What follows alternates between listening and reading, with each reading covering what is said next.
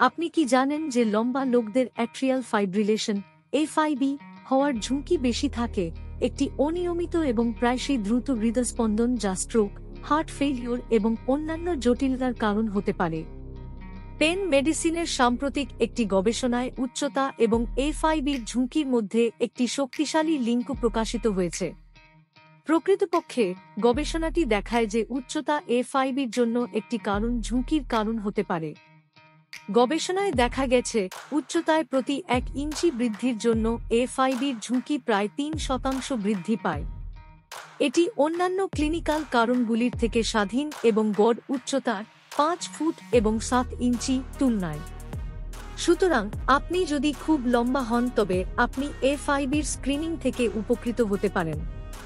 FIB হল একটি সাধারণ, অস্বাভাবিক হার্টের ছন্দ যা বিশ্বব্যাপী তিন তিন মিলিয়নেরও বেশি লোককে প্রভাবিত করে। উচ্চ রক্তচাপ, হৃদরোগ, ডায়াবেটিস এবং স্থূলত্বের মতো এফআইবি বিকাশের জন্য অনেকগুলি ক্লিনিক্যাল ঝুঁকির কারণ রয়েছে। পর্যবেক্ষণমূলক গবেষণায় দেখা গেছে যে লম্বা ব্যক্তিদের এফআইবি হওয়ার ঝুঁকি বেশি বলে মনে হয়। যাই হোক, এই গবেষণাটি প্রথম প্রমাণ করে যে উচ্চতা এফআইবির কারণ হতে পারে।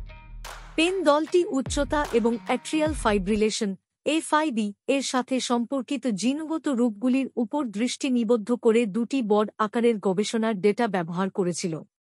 তারা দেখতে পেয়েছেন যে উচ্চতার সাথে সম্পর্কিত জিনগত রূপগুলি হৃদরোগ, উচ্চ রক্তচাপ এবং ডায়াবেটিসের মতো প্রথাগত ঝুঁকির কারণগুলির সাথে সামঞ্জস্য করার পরেও এফআইবির সাথে দৃঢ়ভাবে যুক্ত ছিল। এটি পরামর্শ দেয় যে উচ্চতা বৃদ্ধি এফআইবিতে একটি অবদানকারী কারণ হতে পারে। সুতরাং, আপনি যদি লম্বা হন বা এমন কাউকে চেনেন, তবে এফআইবির বর্ধিত ঝুঁকি সম্পর্কে সচেতন হওয়া এবং স্ক্রিনিং সম্পর্কে আপনার ডাক্তারের সাথে কথা বলা গুরুত্বপূর্ণ।